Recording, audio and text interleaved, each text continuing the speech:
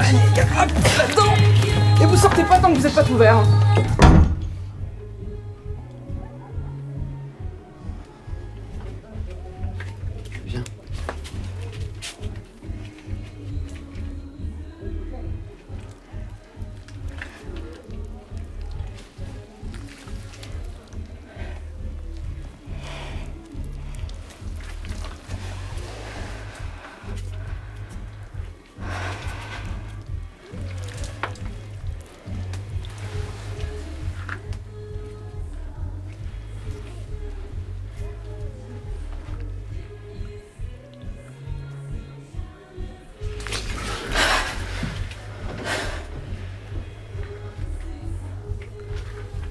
T'inquiète, on va y aller plus tranquillement.